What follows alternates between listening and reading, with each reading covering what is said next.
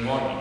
Good morning. And welcome to our worship service this morning as we celebrate our annual Christmas in July.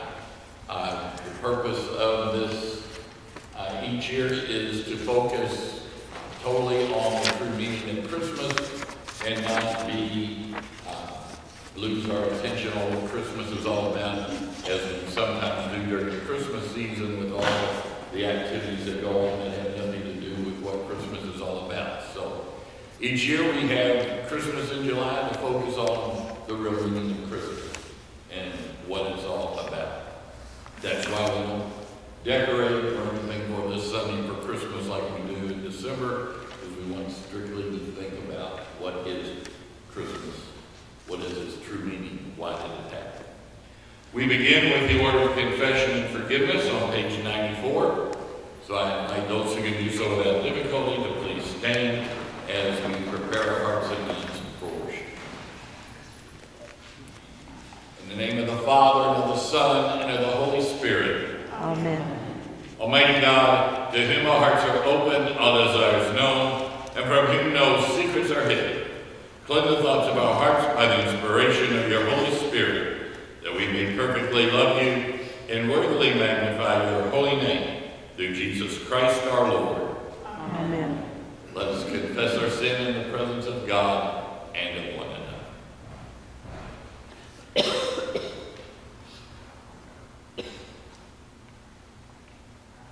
Most merciful God, we, We confess that we are captive to sin and cannot free ourselves. We have sinned against you in thought, word, and deed, by what we have done and by what we have left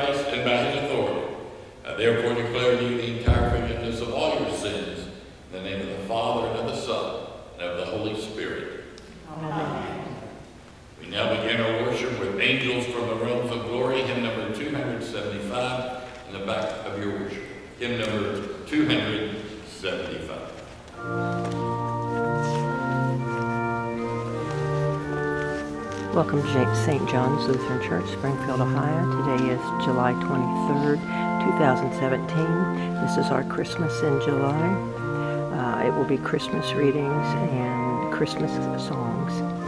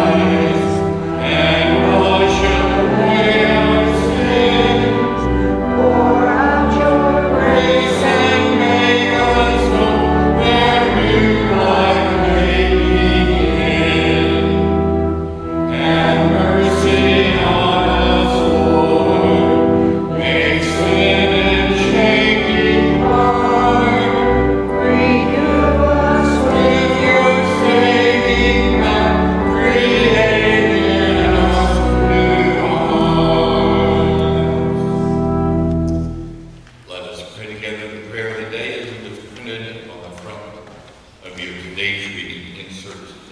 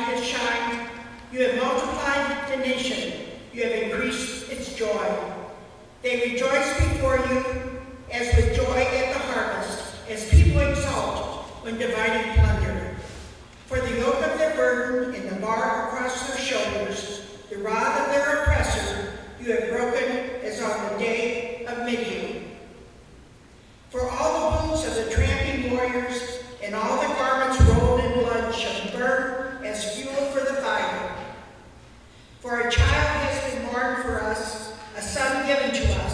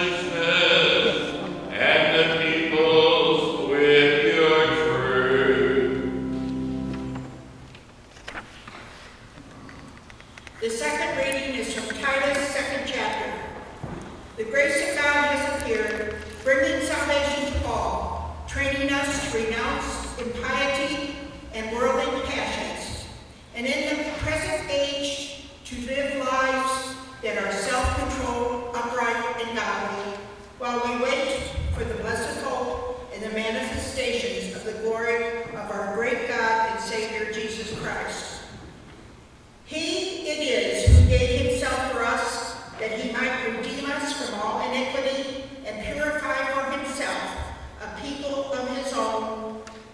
are jealous, zealous for good deeds. The word of the Lord.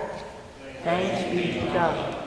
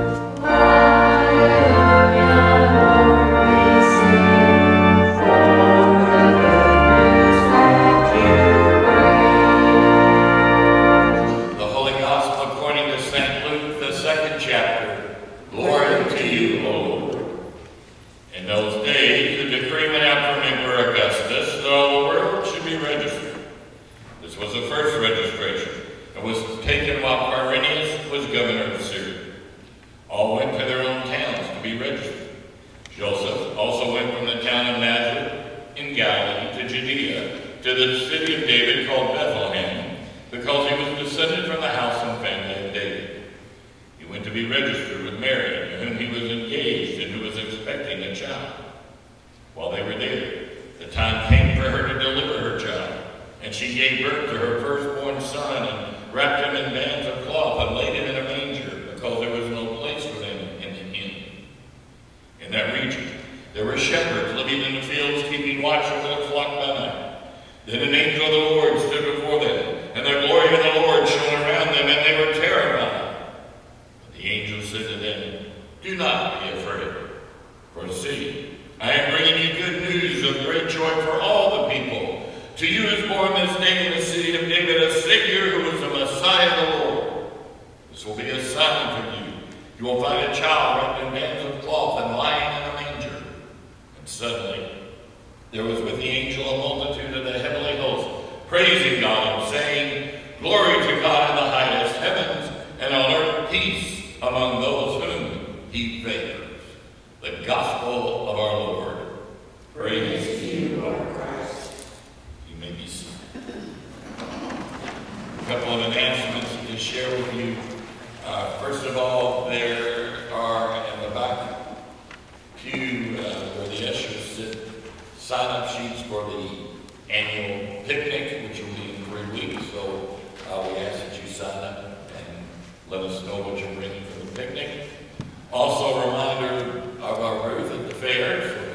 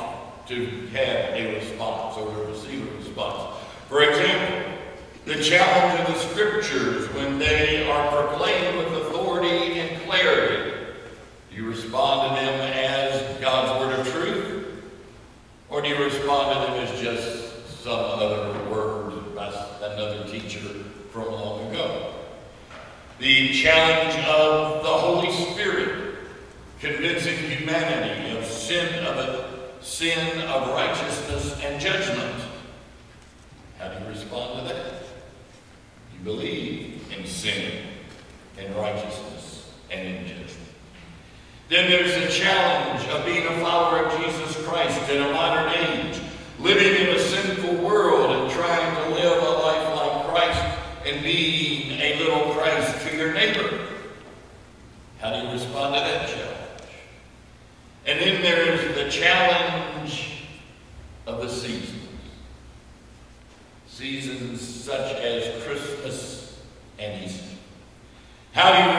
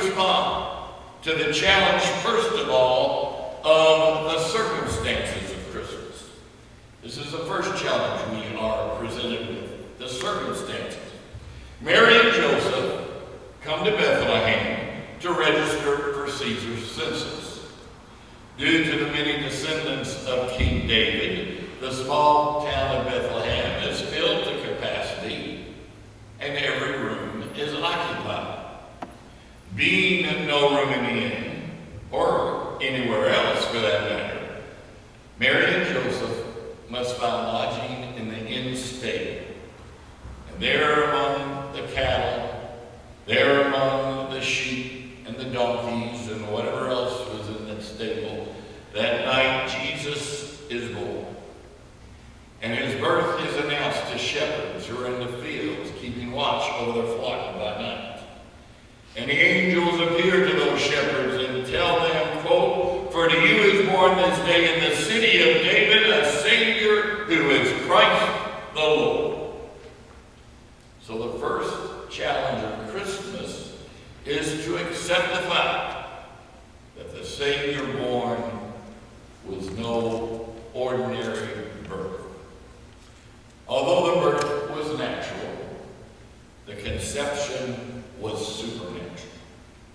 Mary, a virgin, engaged to be married to Joseph, was overshadowed by God through the power of the Holy Spirit, and the Holy Spirit created life into the room where there was no life. If we accept the Bible as the Word of God, which as Christians we should, then we are obliged to believe in the supernatural conception of our Lord Mary was not just a young girl. Liberal theologians in the 60s and 70s tried to change the birth narrative and say that the word translated as virgin simply meant a young lady. And so Mary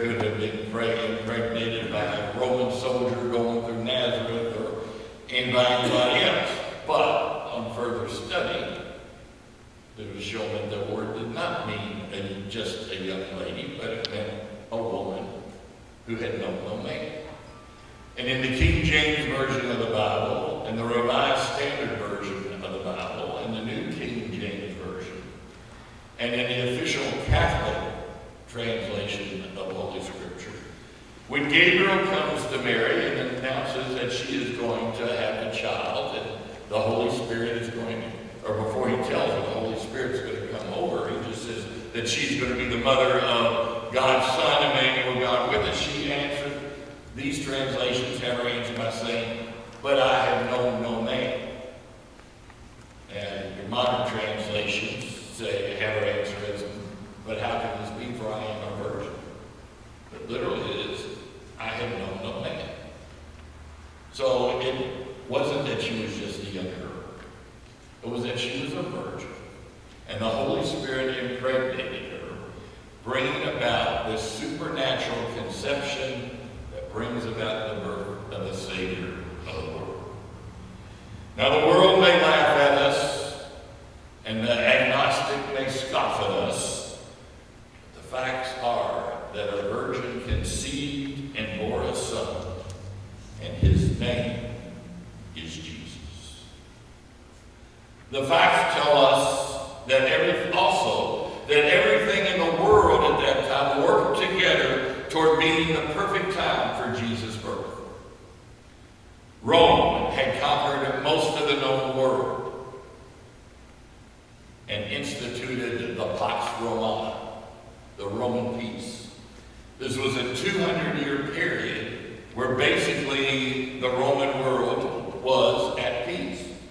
There were occasional flare-ups of insurrection, like which happened in Judea uh, more times than Caesar liked. But there were no major wars. Rome had no enemies. Her power was too great. And so with this Roman peace, civilizations flourished. People were able to travel from border to border, ocean to ocean, sea to sea without fear. People were able to move quickly over the Roman roads from one place to another in safety. The language for trade and business was Greek, due to the fact that years before the birth of Rome, Alexander the Great, when he conquered the lands that he conquered, he forced them to take on the Greek language and Greek culture. So as Rome became the new power in the area, they allowed that process to continue because it made communication easy. People of different races, different ethnic groups could speak to one another by using Greek, the language of trade and business. And so all this comes together to bring about being the perfect time for the birth of Jesus. And then you add Caesar's census, which demanded that Mary and Joseph leave Nazareth and go to Bethlehem, with the city which had been prophesied the Messiah would come from. So now they come to Bethlehem so that the prophecy might be fulfilled. So everything had come together. All these facts of history work together to bring about the perfect time for God to enter his plan of salvation into the world in the form of a little baby. The facts may challenge our reason, but they are the facts. Mighty Caesar was being used by God to implement his plan of salvation. The whole world was prepared for the coming of God's Savior. This was the right moment for the coming of Christ. This was the right moment for the coming of Christ into human history. And this was the right moment for the birth of Jesus to fulfill those prophecies of the Old Testament to the letter concerning the coming of the Messiah, the anointed one, the Savior of the world. The challenge of Christmas is for us personally to respond to those facts of Christmas. And the challenge is to respond to the crime of Christmas. Now, when I mention the crime of Christmas, I'm not talking about the slaughter of the innocents that takes place later when King Herod, tricked by the wise men, orders the slaughter of every male child two years old or let this was the crown of Christmas night, the crown of having no room. When Mary and Joseph arrived at the inn in Bethlehem and requested accommodations for the night, they were told there was no room for them in the inn. The innkeeper's refusal to take in these weary travelers throughout the centuries. His attitude and actions symbolize a sin of woeful ignorance.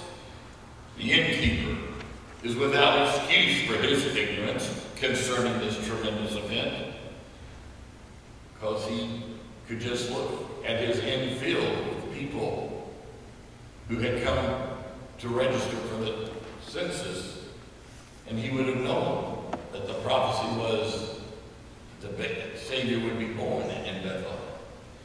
But instead he acts ignorant. And yet the same God who rewarded the shepherd's anticipation, who rewarded the investigation of the wise men, would have satisfied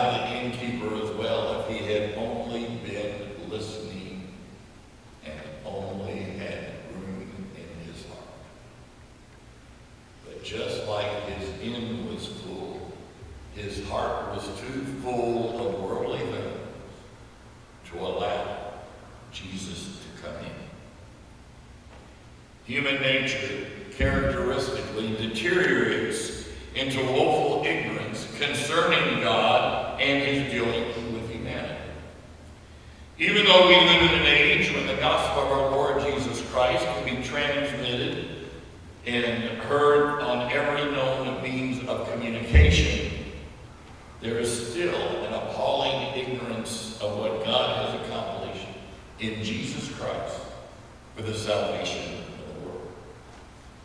No one has an excuse to be ignorant of the tremendous event that took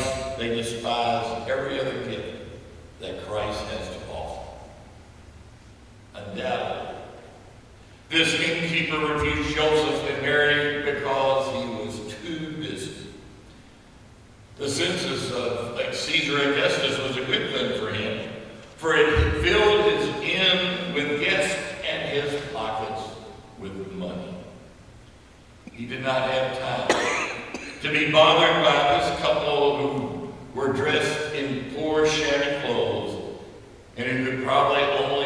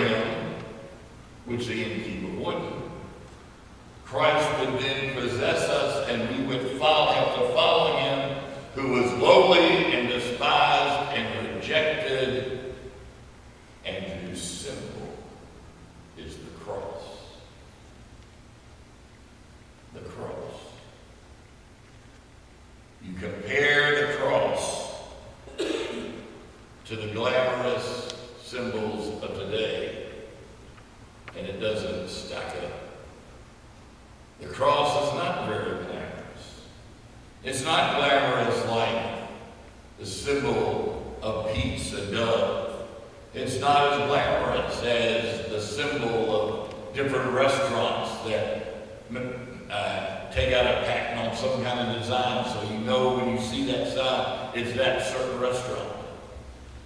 But it is the cross that is the salvation of the world.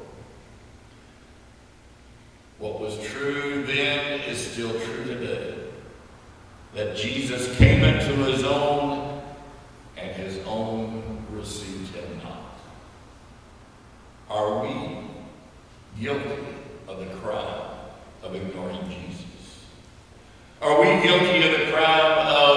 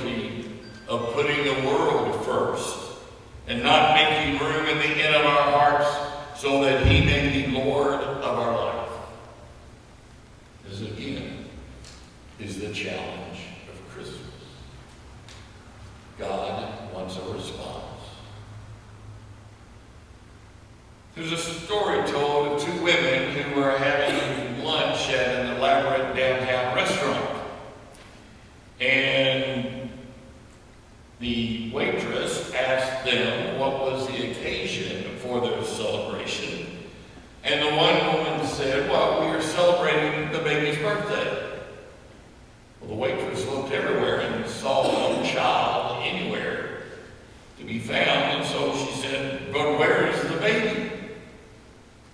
To which the mother replied,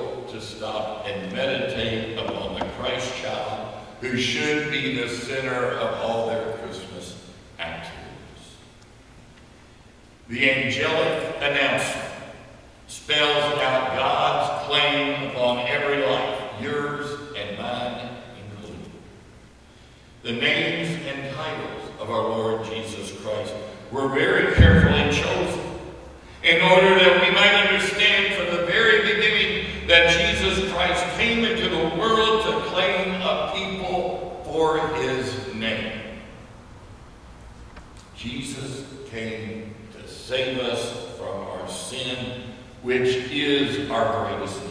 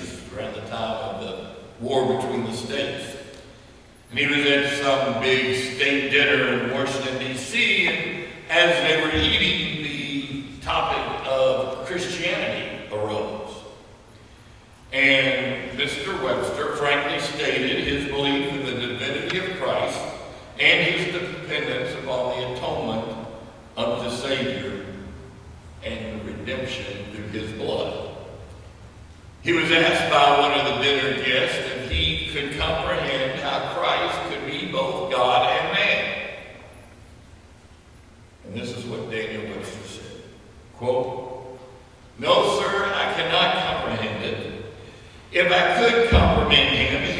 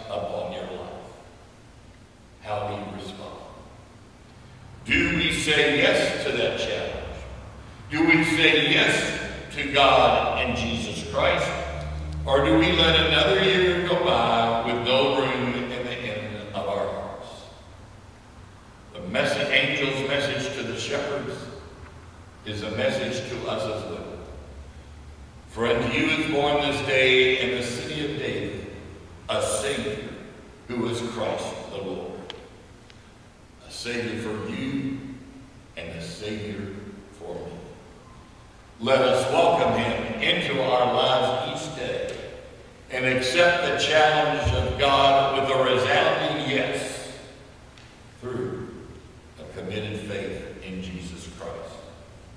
Amen. The peace of God which passes all understanding, keep your hearts and minds through Christ Jesus. Amen.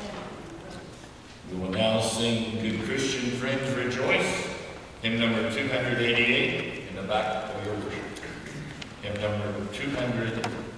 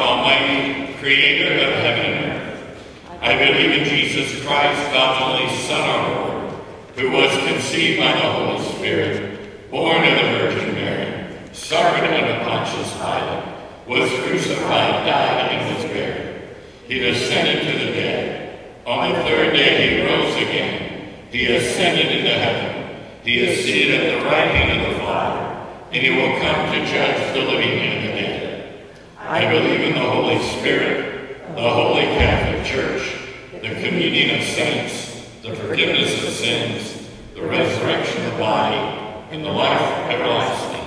Amen. You may be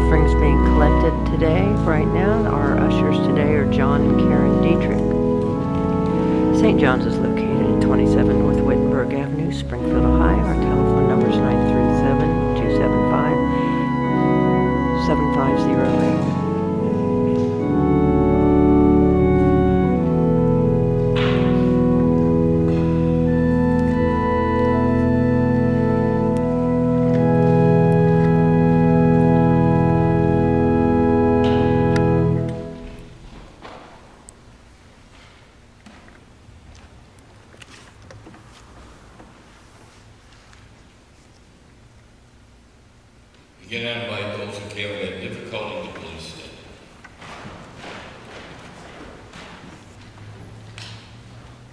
This morning, instead of a intercessory prayer as we usually do, uh, this will just be a uh, prayer of the church uh, as we used to do before. Uh, the LBW came out and used the intercessor, so there's no responses to prayer for the day. Let us pray. O God, the Father, our Lord Jesus Christ, help each of us to enter into the true joys of Christmas every day and to welcome the Savior into our hearts each and every day as well. Open our hearts to receive in faith Him whom you have appointed the Lord of life and under whose feet you have put all things. Grant also, O Father, that the whole earth may come to the obedience of the manger child and to know him as wonderful counselor, mighty God, everlasting Father, Prince of Peace. We pray that people everywhere, from pole to pole and from east to west, may acknowledge Mary's child as Lord and Savior, the incarnate God.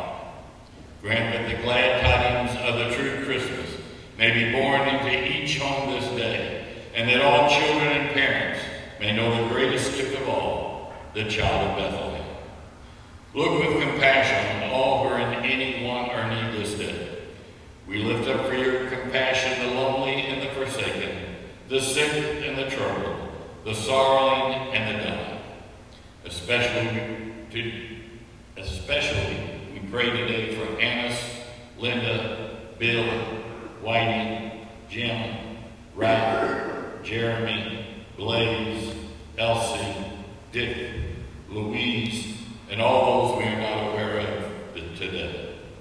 Bring to their remembrance with renewed power the comfort of Christmas, the child who is Emmanuel, God with us. Grant them faith that you are the deliverer their helper in every necessity, the health of the sick, and the hope of the dying. Give them the assurance that in Christ you are near to all who call upon your name. All this we pray in the name of Jesus Christ, our Savior and Lord, who alone is the hope of salvation. And it was taught us to say when we do pray, Our Father, who art in heaven, hallowed be thy name. Thy kingdom come, thy will be done, on earth as it is in heaven. Give us this day our daily bread, and forgive us our trespasses, as we forgive those who trespass against us.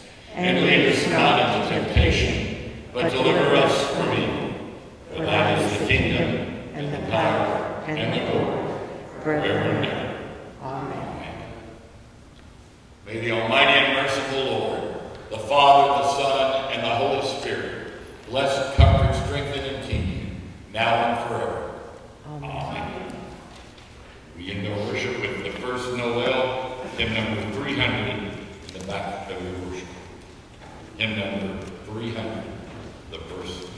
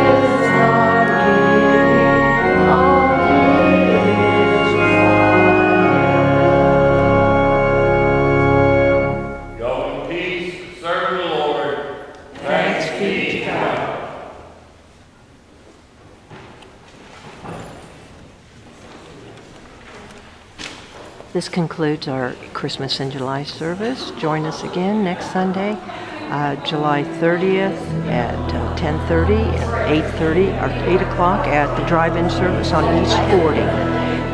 Again, St. John's is located at 27 North Wittenberg Avenue, Springfield, Ohio. Our telephone number is 937-323-7508.